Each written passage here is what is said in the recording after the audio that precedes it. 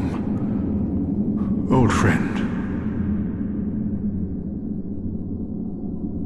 I, Siegward of the Knights of Catarina, have come to uphold my promise.